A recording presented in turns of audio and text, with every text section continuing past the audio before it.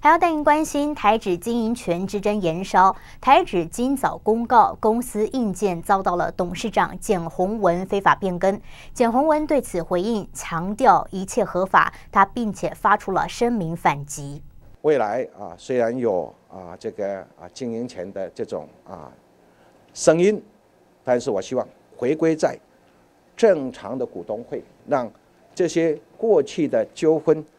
消弭于无形。而不是像今年三月十三号，有特定的人提出的临时股东会，竟然是要撤掉董事长董事的资格。作为啊台湾职业的董事长，啊，我当然有呃证券专业的知识，我觉得应该保护所有的投资人，我会采取具体的司法行动来解决目前的困境。